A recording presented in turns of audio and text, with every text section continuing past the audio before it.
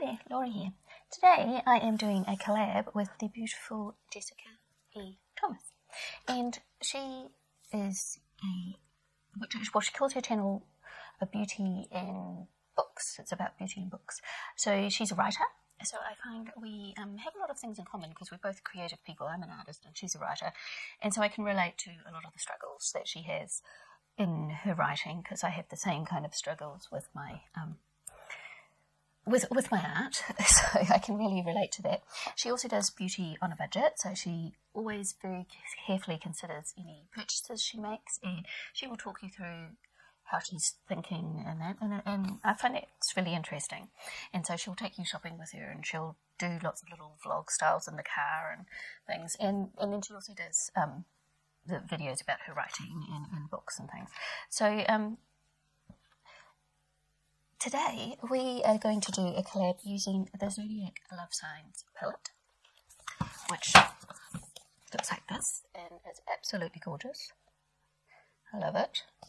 I haven't got to play with it very much, so I was really happy when she suggested we use this palette for a collab. So what we're going to do today is, because we're on opposite sides of the world, and it's spring here, and it's autumn over there, we're actually going to do the opposite though. So I'm going to do an autumn look, and she's going to do a spring look. So that that should be interesting. Trying to channel the opposite season while we try and do the look. Um, I had to refilm the intro and the outro on this video, so the look I am wearing now is not the look I am doing in the video, but I am wearing the Love Signs palette, and I did try and um, channel autumn while I was putting this one on, so you kind of get two looks.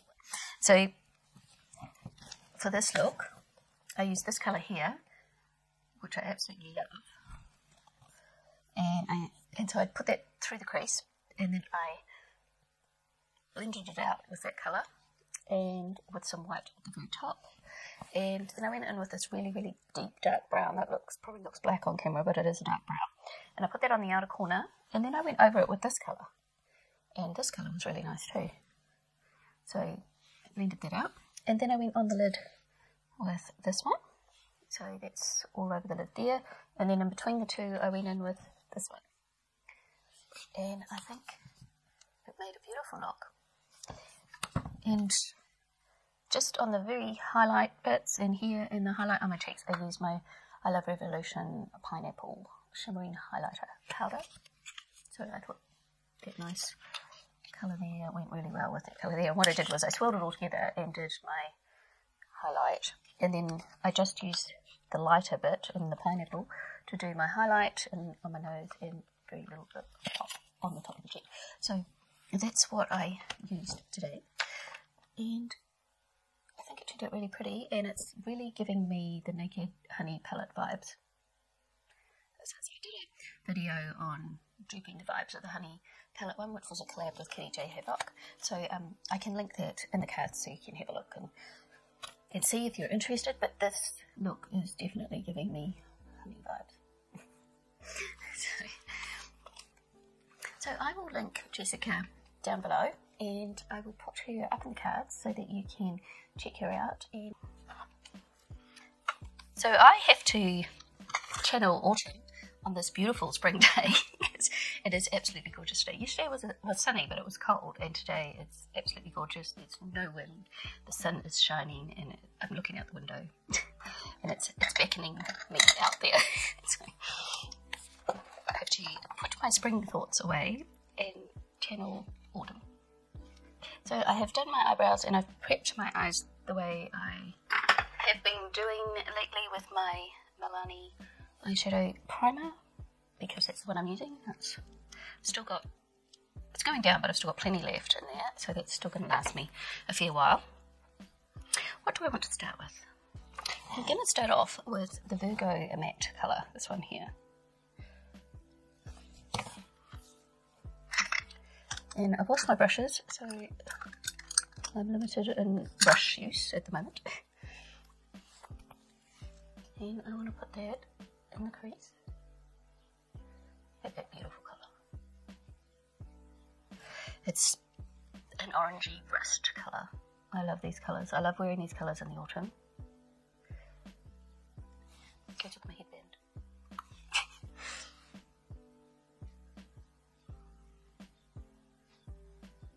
I want an eyeliner this colour that I can put on my waterline.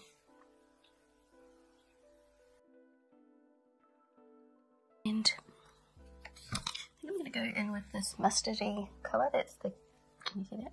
That's the Cancer matte. And I'm wearing my mustardy shirt because I had an idea of what I wanted to do. And I'm going to blend that into the top. Oh, it's pretty. These, these colours do remind me of autumn leaves. I suspect this colour that's this colour and this colour here that I'm using is actually blending into this colour, which I really like. so I suspect that that's actually turning out to be that colour, where it blends together. And then I'm going to go into the Scorpio one, which it looks white. I think it's white. It could be a very light pink. Can you see that one there? It looks it looks white on my finger that I can see. But it's a bit hard to say, but I don't think if it has any pink in it, it's not going to make any difference to what I'm doing. There was one colour in here that I really love that I wanted to use, but I just couldn't quite figure out what look I wanted to do with it. That was an autumn look because it's more of a springy look, and that was the Gemini shimmer. Because look at this pink, it's just beautiful. So it's kind of pink with a kind of purple shift. It goes very well with my nails. All the looks I was coming up with to use that colour were more springy looks, so I had to set that aside and think autumn. so I'm wondering if Jessica will use that colour. they all blend very nicely together. This, the quality of the Love Signs palette, I think, is just as good as the quality in the um, other Zodiac palette that they did. The um, was just it was just the zodiac wasn't it? You know what I mean. Yeah, just the the plain zodiac one, that one. So the quality was really good in this one as well. In this one you got the um, sort of purpley mattes and things in, in there, so it's a got all these beautiful purples, which I think will mix really well with the other palette as well. So this colour here is very similar to this colour. Right.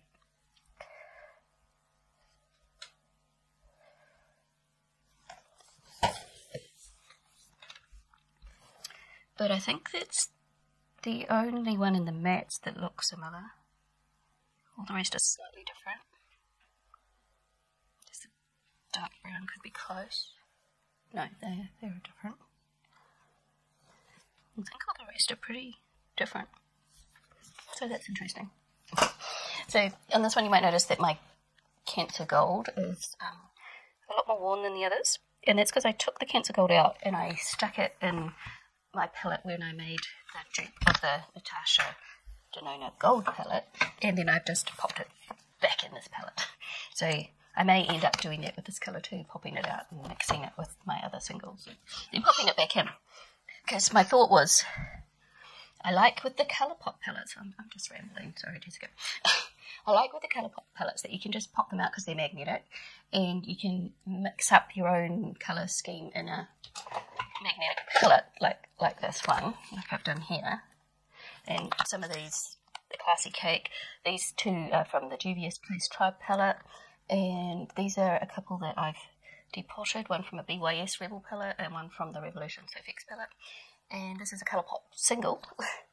so I can mix them around, but then I can put them back in the palette and have the palette hold in the way I want it.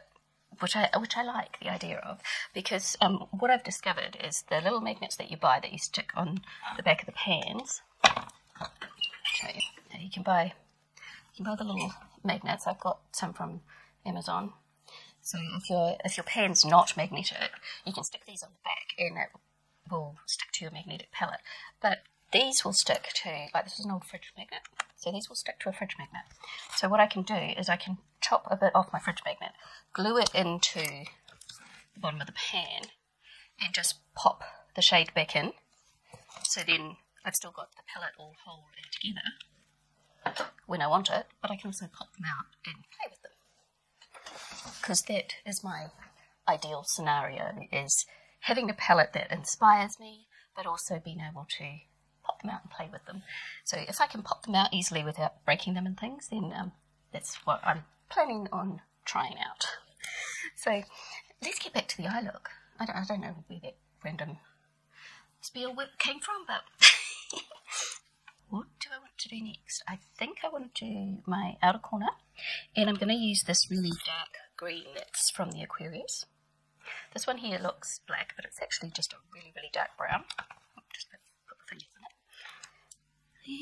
And a little brush. So I'm going to use this Real Techniques brush. This is a point double XS one. So this is slightly bigger than the other one, but the other one I have um, washed. Because I decided I really wanted to use some of those teal shades because they're so pretty.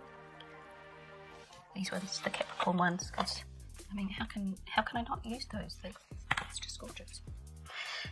So the colour scheme that I am doing at the moment does remind me of the BYS Bananarama palette, which I actually gave to my daughter because she really liked the colour scheme and I decided I could get the same look from other palettes. So um, same kind of look from this palette. It is a very pigmented dark green. Jessica and I have quite different makeup styles, so you will get oops, you will get quite different looks from both of us, which I really like. I really like that when you do a collab with someone and they've got quite a different style, then you get ideas that are completely different from yours that I, I may have never even thought of. And then I think I will go into this colour here see. and I'm going to put it here. Now that is a beautifully pigmented pastely ochre. So now I know which palette to go when I want a pastely ochre. There's a lot of those kind of pale aqua colours that I have, not that I have lots of them, they're just, they're just not very pigmented this one is. And going on my crepey eyelids with a matte is not the easiest thing in the world, so it does have to work well to work on my crepey eyelids. And then I want to go in with. Hang on a moment, I need to blow my nose because I've had a bit of a cold and my nose is just running all the time. And also it's spring, so I'm thinking I might go in with some glitter glue. So I'm just using my e.l.f. glitter glue. And I'm going to put it, I got a brush that I can use this with. I might just use my sponge tip because, uh, as I said, I've washed my brushes, so I'm working on the bare bones of my brushes. because I had five teenage girls plus mine here for Halloween the other day, doing makeup, Halloween makeup, and um, I had to wash my brushes afterwards, so you can imagine just how many dirty brushes I had. I had a great time, but there was a lot of dirty brushes. So I think I will get this orange, which I absolutely love. I can see this being a spring colour as well. I'm gonna I haven't tapped off my brush, so there's going to be a lot of fallout, but that's okay because I haven't done my face. And I'm going to tap that over the glitter glue. Isn't that just like the most gorgeous, gorgeous orange? Can you see it on camera? It's just so pretty. So I'm not actually doing a cut crease, but it kind of looks like a cut crease. So that's what we've got so far. Then I'm going to go in with, I mm, I think I'm going to use the same brush and I'm going to go in with this might not work. I might need a different brush. I'm going to go in with this colour here. Can you see that? And I want to put it here. Oh, that's so pretty.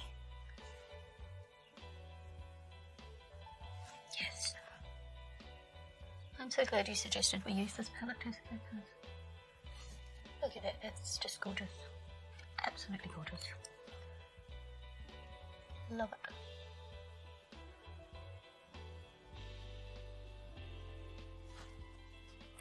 And then I want to go back. I need another small brush. I haven't got any small ones left. Oh, I might be able to get away with this one. I'm going to go back into this colour. Hmm. I don't know which way to hold the palette up. I'm going to go into that matte, rusty, orangey colour and just tidy up that edge. So it, it does look like a cut crease, but I haven't cut the crease with concealer or anything. I suppose I cut the beginning of the crease with some glitter glue, but that's about as close as I got to a cut crease. when I relax my eyes, I'm losing most of that orange. So I'm going to go back in and I'm going to put that higher because I do want to see it. Actually, that's quite a good brush for that. And then I'm going to go back into the mustardy colour. And then I'm going to go back into the white then I think, what colour liner do I want to put on? I'm going to go for orange, but I'm using my Colourpop one and Puppy, which is broken because they keep breaking and it's really annoying. So I'm just trying to put that broken bit back in so I can actually use it because I don't want to waste it. So this one is in Puppy, I think. Yeah, in Puppy. And I'm going to put that underneath because I just oh, I lost it. I just like to have a bit of liner on the bottom for the shadows to stick to. And I'm going to go back into that rusty orange colour. Okay, so I'm going to tightline and then I'll do my rest of my face and then I'll come back and see what else we need to do. So here is where we're at. So I added my LA Girl Glide on Gel in Gypsy Teal on the waterline. And I did some black liner just on the top.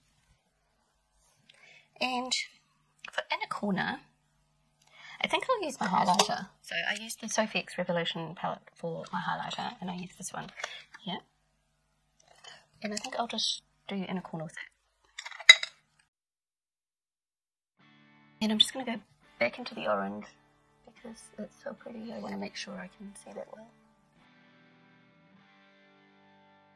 Yeah, I'm going to use some of that orange because I'm just crazy and I love the colour. There's a little blush topper in between the blush and the highlight. Yeah, I like that. You probably can't even see it on camera, but it just warms up the blush a bit and ties it into the eyes nicely. And then I'm gonna put my mascara on. Just about dropped it. And there is my final look. So on my lips today I used the Rimmel Spice Nude Lip. And then just in the middle I tried using the Focallure lip topper in Garnet and um, I, I just, I love the colour of this, it just doesn't work very well. So it's gone kind of patchy. I just put some on my finger and went like that. It does dry down. So it, it dries. But it just goes patchy and weird. So it's a shame the colour is so pretty but the formula is just not very good. so I wouldn't recommend that. What do you think? I haven't done setting spray. Have I? Yes, I did do setting spray. I don't even remember what I'm doing. so does this look like an autumn look? Or am I still channeling spring? I, I'd wear this at any time, but I feel like I'm still channeling spring a bit. I feel I could have gone darker for a little. What do you think? Be interested to see what Jessica does, whether she ends up going darker because she's in autumn and she's channeling autumn trying to do a spring look. okay. And so this is where the video ends. Please go and check out Jessica if you haven't already. She's well worth having a look at and I really enjoy her channel so I hope you will too. And thanks for watching and I'll see you next time. Bye.